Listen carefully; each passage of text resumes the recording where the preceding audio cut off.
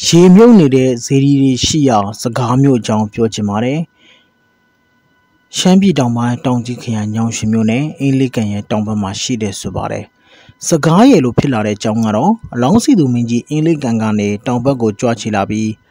မောဘီရဲမှာမောဘီဖျားကိုတီးခဲ့ပါတယ်။အဲဒီကနေတောင်ဘက်ကိုဆက်ကြွတဲ့အခါဘီရင်ကလုံးဝစကားမပြောတော့ပါဘူး။ဒီဖျားတွေကစကားပြောဖို့တောင်းတာပြီးစကားပြောဖို့တောင်းပန်ပါတယ်။အဲဒီမှာ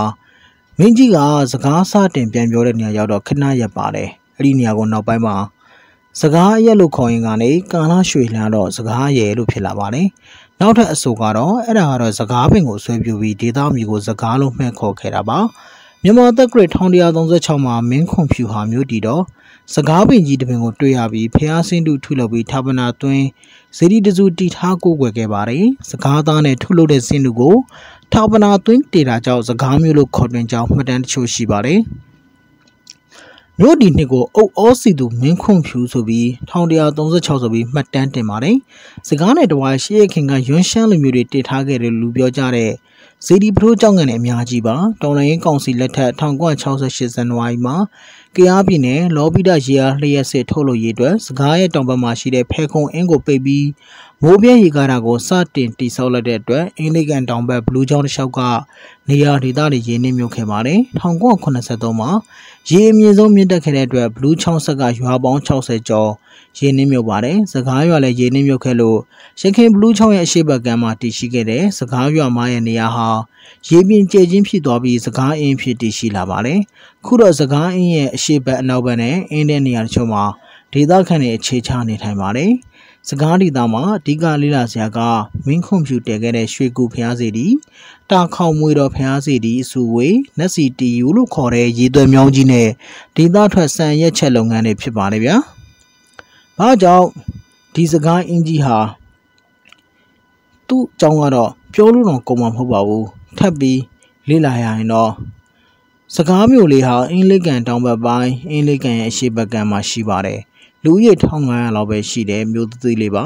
ရှမ်းပို့အင်းသားအများစုနေထိုင်ပါတယ်ဟိုးတစ်ချိန်ကတော့ရှမ်းပြည်တောင်ပိုင်းမှာအချမ်းသာဆုံးလို့ဆိုပါတယ်1980လောက်ကလော်ဘီဒရေအားလျှက်စစ်စက်ရုံစီမံကိန်းတိစောက်ချိန်မှာရေမြုပ်သွားခဲ့တာပါစကားဖယ်ကုံအပြင်အင်းလေးတောင်ပိုင်းကရွာပေါင်းများစွာရဲ့ဘလူးချောင်းတစ်လျှောက်ကရွာတွေရဲ့ရေမြုပ်သွားတယ်လို့သိရပါတယ်နေထိုင်သူတွေဟာ အိုးအိမ်စီစဉ်တွေကိုအကုန်ဆုံးပြီးရေလွတ်ရွာကိုပြောင်းရွှေ့ပြီးရွာတည်နေခဲ့ရပါတယ်ခုလက်ရှိစကားမျိုးကတော့အသစ်တည်ထားတဲ့မျိုးကြီးပေါ့ဘာတွေလဲစရာရှိလဲဆိုတော့စကားလေစိတ်ရှိရာဘုန်းကြီးကျောင်းဝင်းမှာလည်းရှင်းအောင်ဖရားတွေရှိပါတယ်ရေထဲမြုပ်နေတဲ့ဖရားတွေလည်းတွေ့နေပါပြီလေစိတ်မှာစားတော့ဆိုင်ငယ်တွေရှိပါတယ်ကန္နာကစားတော့ဆိုင်ကနေအင်းလေးကန်ရှုကင်းကြည့်ပြီးလဲစားတော့နိုင်ပါတယ်တာကောင်မူတော်ဖရားနဲ့နက်တာရွတို့ကိုလည်းလဲပတ်နိုင်ပါတယ် တာကောင်မူတော်ဖရားဆိုတာဟာမူတော်ကက်ကူဖရားတွေလို့ရွှေအင်းတိမ်ဖျားတွေလိုပုံသဏ္ဍာန်မျိုးမျိုးရှိတဲ့ရှေးဟောင်းဖျားတွေအများကြီးစီစီရှိနေတဲ့ဇေဒီစုပါဇေဒီနာလှိကတဲ့အခါရေထဲမြုပ်နေတဲ့ဇေဒီတချို့ကစီးကြိုမှာပါ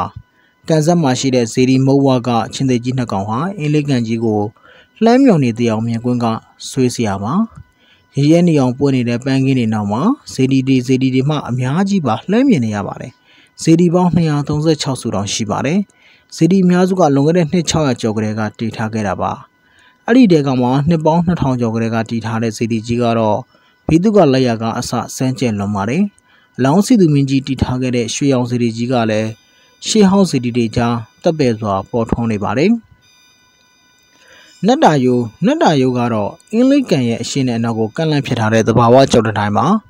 လေစိတ်ကနေမိနစ်20လောက်လေစီးရပါတယ်။ဒီတာယိုကြီးမှာပါဇက်ရဆိုရင်ရှိပါတယ်။ ဟုတ်မဟုတ်တော့မပြောတတ်ပါဘူး။နတ်တွေကဖန်ဆင်းထားတာတဲ့။ဟိုးရှိတုန်းကအင်္ဂလိပ်ကန်ရဲ့အရှိထွက်ပေါက်နဲ့အနောက်ရေထွက်ပေါက်ကိုနတ်သားနှစ်ပါးနဲ့နတ်သမီးတစ်ပါးကစောင့်ရှောက်ပါတယ်။နတ်သားတစ်ခါတစ်ပါးကနတ်သမီးကိုချစ်ခင်ဆုံမလို့တွားကန်လှမ်းတော့မိုးမလင်းခင်ရေထွက်ပေါက်နှစ်ခုကိုတရားဒဇင်အပီးဆောက်ပေးရင်လက်ခံမယ်လို့ပြောတဲ့။နတ်သားလည်းအာကျုမှန်တဲ့အပီးဆောက်တာပေါ့။ဒါပေမဲ့နတ်သမီးကလက်မဆက်ချင်တာကြောင့်ကြက်တကောင်ကိုမိုးမလင်းခင်တွန်းဖို့စေခိုင်းခဲ့ပါတယ်။ကြက်တွန်တန်လည်းကြားတော့မိုးလင်းပြီးအမှန်နဲ့ နတ်သားကလက်လျှော့သွားတာကြောင့်တထားကမပြီးမပြတ်ဖြစ်နေတာပါတဲ့ဒါကြောင့်လည်းတာယိုးကအနောက်ဘက်ကမ်းထိမရောက်ပဲအင်းလေးကန်အလဲမှာပြတ်သွားတာကိုတွေ့ရပါတယ်ကျွန်တော်တို့ရောက်တဲ့အချိန်မှာရေတက်နေတဲ့အချိန်မို့ရေပေါ်မှာပေါ်နေတဲ့တာယိုးထိတက်ကြည့်လို့ရပါတယ်ဝါးဖောင်နဲ့သွားလို့လည်းရပါတယ် ဘယ်လိုသွားရလဲဆိုတော့အင်းလေးဟိုတယ်ဆောင်ကနေရေလန်းနဲ့အင်းလေးကန်တွေကသွားမယ်ဆိုရင်2နာရီခွဲလောက်မောင်းရပါတယ်ကားလမ်းနဲ့ဆိုရင်တော့1နာရီကျော်လောက်မောင်းရပါတယ်ကားလမ်းနဲ့ဆိုရင်ညောင်ရွှေလောင်ဝရလိုင်းတိုင်းမောင်းရင်